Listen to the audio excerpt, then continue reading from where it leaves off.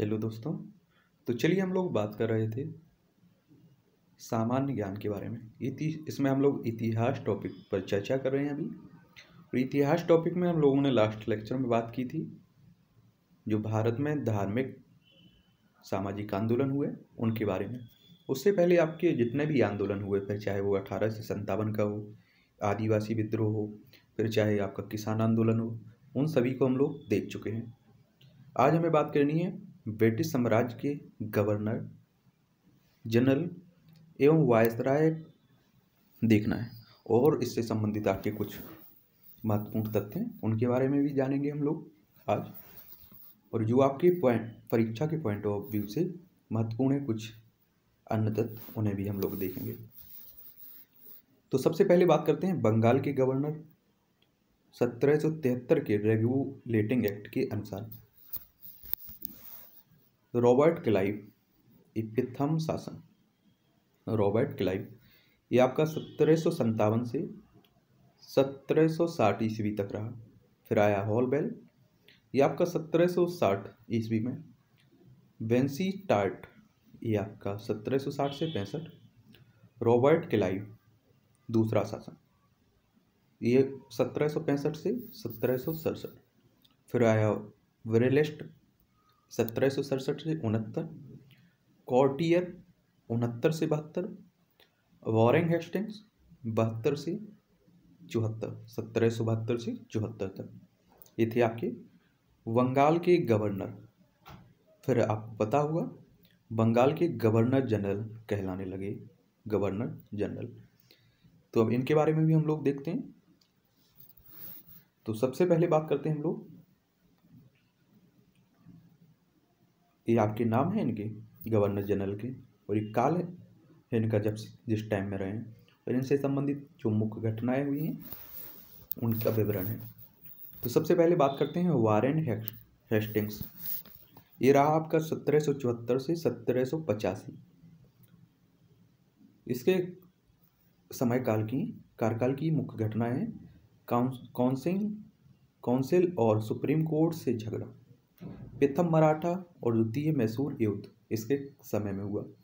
Fits India अधिनियम, Asiatic society की स्थापना, सुरक्षा प्रकोष्ठ या रिक फैंस की नीति, बंगाल में द्वैत शासन की समाप्ति, कलकत्ता में उच्च न्यायालय की स्थापना और महाभियोग इस पर चला।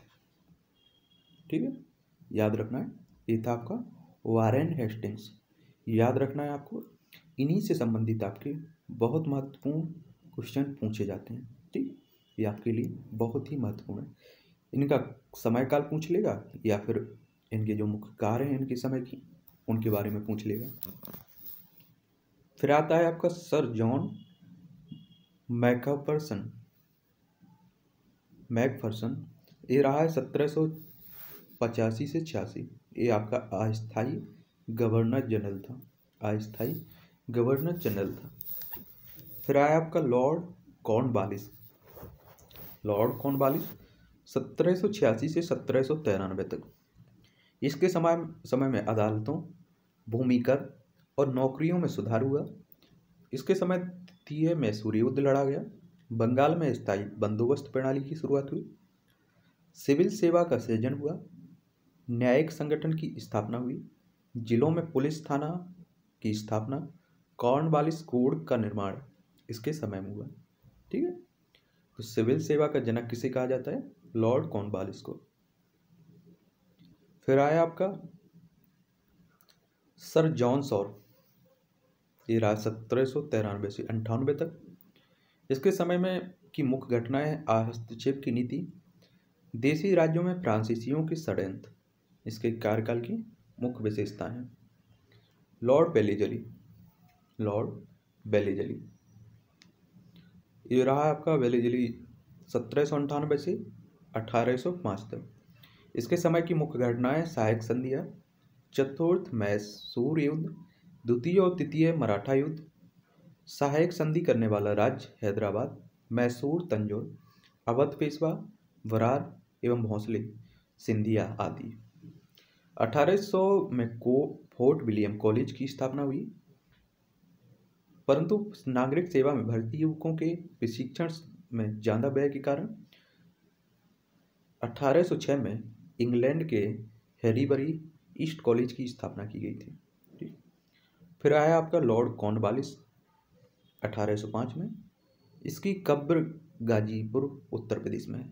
इसके बारे में याद रखना है इस पॉइंट को क्योंकि कई बार पूछ लिया है। लॉर्ड कॉर्नवालिस की कब्र गाजीपुर, उत्तर प्रदेश में है।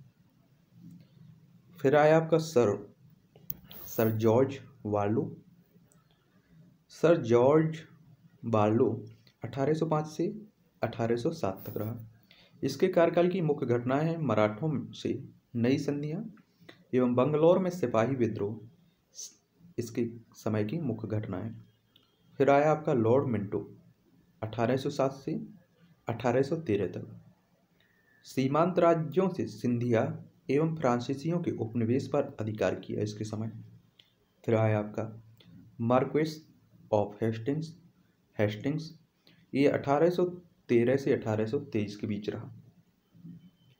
इसके समय में मुख्य घटनाएँ घटी गोरखा युद्ध पिंडारियों का दमन, मराठों की शक्ति का अंत, शिक्षा को राजकीय सहायता, अदालतों में सुधार, तृतीय आंग्ल मराठा युद्ध और आंग्ल नेपाल युद्ध हेस्टिंग के समर में हुआ है। फिर आया आपका लॉर्ड एम हर्स्ट 1823 से 28 तक। इसके समय में बर्मा का प्रथम युद्ध हुआ। बैरकपुर की छावनी सैनिक कैंप में 1824 में विद्रोह हुआ इसी के समय में। फिर आया आपका लॉर्ड विलियम बेंटिक। कौन सा? लॉर्ड विलियम बेंटिक 1828 से 33 तक रहा इसके समय की मुख्य घटनाएँ ठगी, पिथाकांत। राजा राम मोहन राय के सहयोग से। सती पिथाकांत, भारतवासियों की ऊँचे पदों पर नियुक्ति, मैसूर का अंग्रेज़ी राज्य में बिलर, इसी के समय में हुआ। फिर भारत के गवर्नर जनरल कहलाने लगे। 1833 के चार्टर एक्ट के अधीन। तो भारत के गवर्नर जनरलों में आपके शामिल थे लॉर्ड विलियम बेंटिक। ये रहा आपका 1833 से 1835 तक। इसके कार्यकाल की महत्वपूर्ण घटनाएँ हैं। आधुनिक शिक्षा का जन्मदाता इसे कहा जाता है। मैकाले की रिपोर्ट, ली कमीशन की नियुक्ति इसी के समय में हुई थी। फिर आपका सल चार्ल्स मेटकॉप 1835 से 36 प्रेस की स्वतंत्रता सल चार्ल्स मेटकॉप का प्रमुख कार्य था प्रेस की स्वतंत्रता। लॉर्ड ऑकलैंड लॉर्ड ऑकलैंड आपका 1836 से 42 तक रहा। प्रथम आंग्ल अफगान युद्ध इसी के समय हुआ। फिर आपका लॉर्ड एलन बरू ये अठारह से अठारह तक। सिंध का अंग्रेज़ी साम्राज्य मिलाया जाना। रविवार की छुट्टी की शुरुआत 1843 से हुई है, लॉर्ड एलन बरो के समय से। रविवार की छुट्टी कब से हुई 1843 से फिर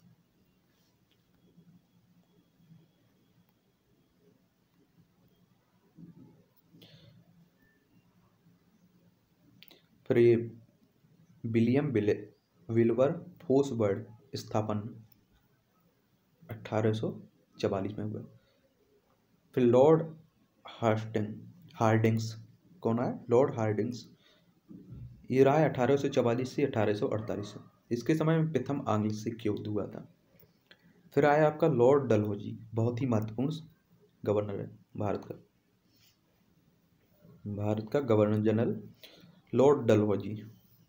अट्ठारह से छप्पन तक रहा। इसके समय में बहुत कार्य हुए। दूसरा आंग्ल सिद्ध सिख युद्ध हुआ, हड़प की नीति। रेलों का आरंभ लॉर्ड डलहौजी के काल में ही हुआ। शासन सुधार। हड़प नीति के अंतर्गत राज्य सतारा, जैतपुर, संबलपुर बाघाट उदयपुर, झांसी, नागपुर का इसमें हड़प किया गया। हड़प नीति के अंतर्गत शामिल किया गया।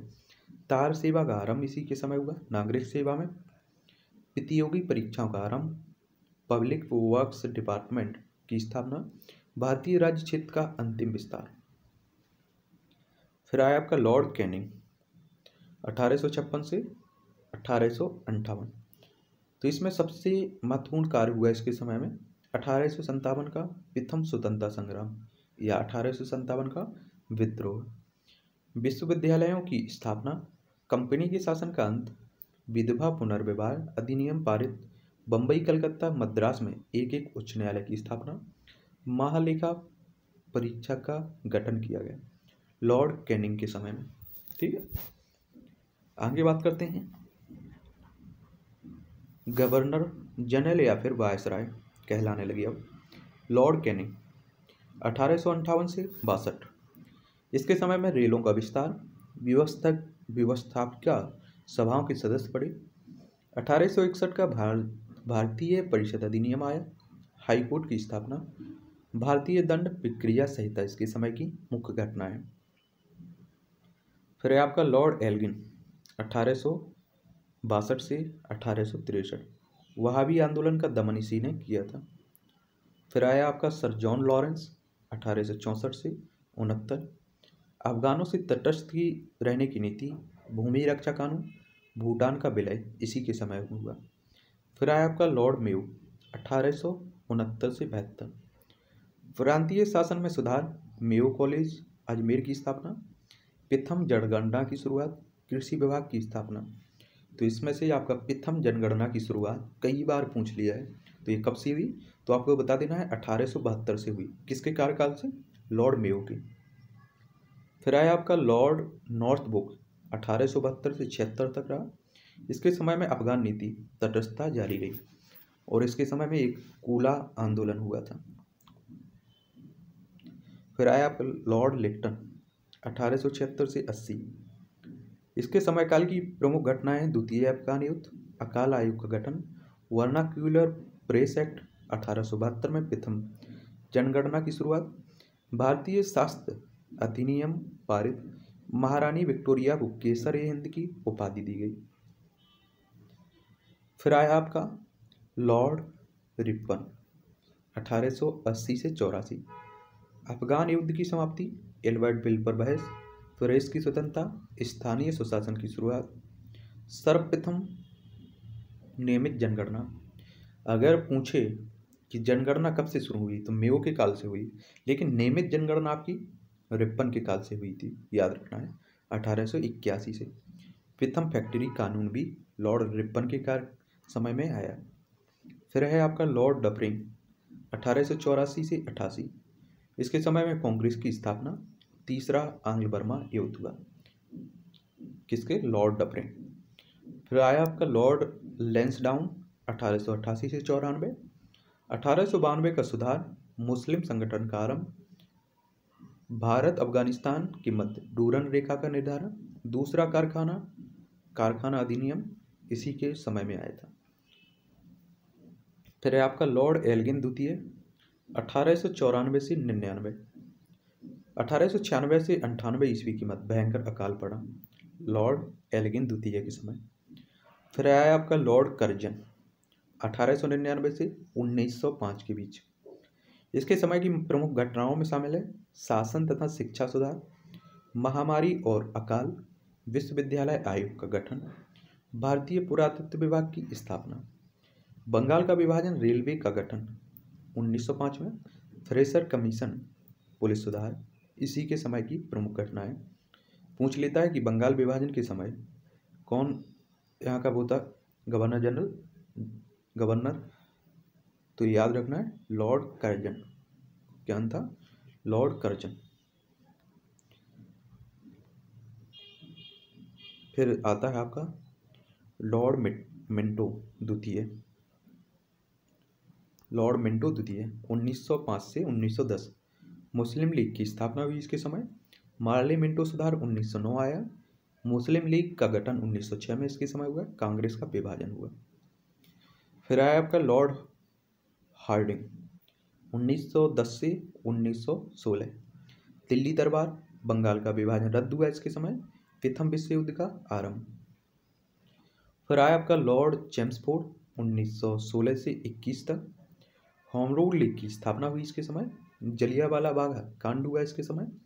रोलेक्ट एक्ट आया, खिलाफत आंदोलन हुआ, असहयोग आंदोलन हुआ सेडलर आयोग की स्थापना हुई। फिर आया आपका लॉर्ड रीडिंग 1921 से 26 कांग्रेस का दमन, स्वराज पार्टी का गठन एकमात्र यहूदी गवर्नर जनरल चोरी चोरा कांड हुआ इसी के समय, लॉर्ड रेडिंग के समय। फिर आया आपका लॉर्ड इरविन, अठारह सौ, उन्नीस सौ छब्बीस से उन्नीस सौ इकतीस तक। भद्द आंदोलन, कांग्रेस से समझौता, गोलमेज सम्मेलन, साइमन कमीशन, सविनय अयोग्य आंदोलन, पूर्ण स्वराज का लक्ष्य, गांधी इरविन समझौता। ये हुए आपके लॉर्ड इरविन के समय में। फिर आया आपका लॉर्ड पिलेंगटन उन्नीस से चौंतीस। कांग्रेस का दमन, पूना समझौता, सांप्रदायिक पंचाट 1935 अधिनियम, ये आपके लॉर्ड बेलिंगटन के समय में हुई घटनाएँ। फिर आपका लॉर्ड लॉर्ड लिन लेथगो उन्नीस से छत्तीस। प्रांतीय स्वराज की स्थापना, पहला चुनाव हुआ इसके समय, अगस्त प्रस्ताव आया। किप्स मिशन और भारत छोड़ो आंदोलन, आपका लॉर्ड लिन लेथगो के समय में हुआ था। आगे बात करते हैं हम लोग। अब बात करते हैं governor general. Crown viceroy था, ये वायस राय था ये, क्राउन का प्रतिनिधित्व। लॉर्ड लिन लेथगो 1936 से अड़तीस तक रहा। वेयर बेवर्न स्थापन 1938 में। फिर आया आपका लॉर्ड लिन लेथगो 1938 से 1943 इसके समय में द्वितीय विश्व युद्ध का आरंभ हुआ। भारत छोड़ो, आंदोलन का आरंभ इसी के समय हुआ। फिर आया आपका लॉर्ड बेविल 1933 से सॉरी, तैंतालीस से सैंतालीस तक। कौन? उन्नीस सौ सैंतालीस तक। कांग्रेस नेताओं की रिहाई हुई इसके समय। केंद्रीय तथा प्रांतीय सभाओं का नया चुनाव हुआ। विधानसभा का चुनाव हुआ। कैबिनेट मिशन उन्नीस, सॉरी 1946 में आया। 1946 में आया जवाहर नेहरू की अंतिम सरकार। जवाहरलाल नेहरू की अंतिम सरकार 1946 भारत विभाजन की ओर। इस, ये सभी आपकी लॉर्ड बेबेल के समय की घटना है फिर आता है आपका lord Mountbatten Mountbatten उन्नीस से अड़तालीस तक। पाकिस्तान और भारतीय संघ की स्थापना, सांप्रदायिक दंगे, कश्मीर युद्ध, गांधी जी की हत्या, लॉर्ड माउंट बेटन के समय हुई। फिर आया आपका, फिर आए चक्रवर्ती राजगोपालाचारी। ये भारतीय थे। ये 1948 से 1950 तक रहे। इनके समय में देसी राज्यों का एकत्रित होना और नवीन संविधान का निर्माण हुआ। ठीक है? तो अंतिम थे वायसराय चक्रवर्ती राजगोपालाचारी। ठीक? आगे बात करते हैं हम लोग कुछ विदेशी, विदेशों में भारतीय संगठनों के बारे में बात कर लेते हैं, जो आपकी परीक्षाओं के लिए बहुत ही महत्वपूर्ण रहते हैं। विदेशों में भारतीय क्रांतिकारी संगठनों की बात करें तो ये स्थापना वर्ष इनका, ये संगठन है, ये संस्थापक है इसके उद्देश्य इंडिया हाउस इंडिया हाउस आपका 1904 में बना। इसके संस्थापक थे श्याम कृष्ण वर्मा। कहाँ बना था ये? लंदन, इंग्लैंड में। ठीक है? फिर है आपका अभिनव भारत। कौन सा? अभिनव भारत। ये बना आपका 1906 में स्थापना हुई इसकी। और इसके संस्थापक थे बी डी सावरकर, लंदन में, इंग्लैंड में, ठीक है? फिर है आपका इंडिया इंडिपेंडेंस लीग, ये 1907 में। तारकनाथ दास, इसके संस्थापक थे अमेरिका में। गदर पार्टी बहुत ही महत्वपूर्ण है। गदर पार्टी की स्थापना 1913 में हुई। इसके संस्थापक थे हरदयाल, लाला हरदयाल, रामचंद एवं बरकतुल्ला इसकी स्थापना हुई थी सैन फ्रांसिस्को, अमेरिका में। फिर है आपका इंडिया इंडिपेंडेंस लीग 1914 में। इसके संस्थापक में शामिल थी लाला हरदयाल और वीरेंद्र नाथ चट्टोपाध्याय। वर्लिंग जर्मनी में हुई थी इसकी। फिर बात करते हैं आगे। India independence league and government, ये 1915 में राजा महेंद्र प्रताप काबुल, अफ़गानिस्तान में हुई इसकी। इंडिया इंडिपेंडेंस लीग 1942 में रास बिहारी बोस बोस टोक्यो, जापान में। आजा, आज़ाद हिंद फौज 1942 में रास बिहारी बोस 1943 में आज़ाद हिंद फौज का पुनर्गठन सिंगापुर में नेताजी सुभाष चंद्र बोस ने किया था 1943 में। इसके संस्थापक कौन थे? रास बिहारी, बोस। टोक्यो, जापान में हुआ। फिर बात करते हैं ब्रिटिश काल में विदेशी, विदेशियों पर अधिकार।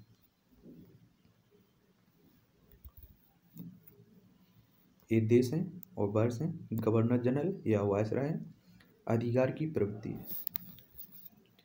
नेपाल 1816 में लॉर्ड हेस्टिंग्स के समय कुमायूं एवं गढ़वाल का विलय समय किया गया। सिंध 1843 में। लॉर्ड एलन बरो पूर्ण विलय किया गया इसका। सिक्किम 1861 में। लॉर्ड कैनिंग पूर्ण विलय। भूटान, अठारह सौ पैंसठ। लॉर्ड लॉरेंस पूल विलय, पूर्ण विलय। अफ़गानिस्तान, अठारह लॉर्ड लेटन के समय। बाह्य नियंत्रण स्थापित करना। बर्मा, अठारह सौ पचासी, लॉर्ड डफरिन के समय पूर्ण विलय मणिपुर, उन्नीस सौ सॉरी अठारह सौ इक्यासी होगा सर। लॉर्ड लेंस डाउन के समय पूर्ण विलय यह होगा आपका अठारह सौ इक्यानवे। क्या हुआ? अठारह सौ इक्यानवे। तिब्बत, उन्नीस सौ तीन। लॉर्ड कर्जन पूर्ण विलय आगे बात करते हैं। अब बात करते हैं सैमिक संगठन या सैमिक संघ या संगठन। ये आपके संगठन है इस संस्थापक हैं, और जिस वर्ष में हुआ इसकी स्थापना, ये है ये स्थान है जहाँ हुआ। है बॉम्बे हैंडमिल एसोसिएशन, इसके संस्थापक थे एन एम लोखंडे 1880 में। कहाँ हुआ था? बम्बई में। वर्कर्स मैंस क्लब ये आपका शशिपद वनर्जी 1870 में, कलकत्ता में। पेंटर्स यूनियन 1905 में, कलकत्ता। रेलवे मैंस यूनियन 1906 में, कलकत्ता। कामगार हित वर्धक सभा, इसके संस्थापक थे एस के बोधे 1909 में। कहाँ हुआ था? बम्बई में। मद्रास सैनिक संघ, जी आर नायडू, चेलपल्ली, चेलपत्ती 1918 में। मद्रास में। याद रखना आपको कि इसी तरह की आपकी वनडे एग्ज़ाम में अधिकतर इसी तरह के क्वेश्चंस पूछे जाते हैं, ठीक है? अहमदाबाद टेक्सटाइल लेबर एसोसिएशन, इसके संस्थापक थे अनुसुईया सोया साराभाई 1920 में। कहाँ हुआ था? अहमदाबाद में। फिर है आपका all India trade union congress इसके संस्थापक थे एन एम जोशी 1920 में हुआ बम्बई में। Bombay textile labour N M Joshi थे इसके, संस्थापक बम्बई में हुआ था। All India trade union federation, N M Joshi थे इसके संस्थापक, उन्नीस सौ उनतीस में हुआ। National federation of trade union, इसकी स्थापना एन एम जोशी ने की थी। हिंदुस्तान मजदूर सभा इसके संस्थापक थे Vallabhbhai Patel, Rajendra Prasad J V Kripalani. Indian Federation of Labour, इसके संस्थापक थे एम एन राय 1944 में इसकी स्थापना हुई। Indian National Trade Union Congress, Vallabhbhai Patel ने की थी इसकी स्थापना। Jamshedpur labour association, S L, sorry, S S Haldar 1925 में जमशेदपुर में। अब इस समय की कुछ महत्वपूर्ण पुस्तक, पुस्तकें देख लेते हैं, उनके लेखक। पुस्तक हो गई ये आपकी, लेखक हो गई।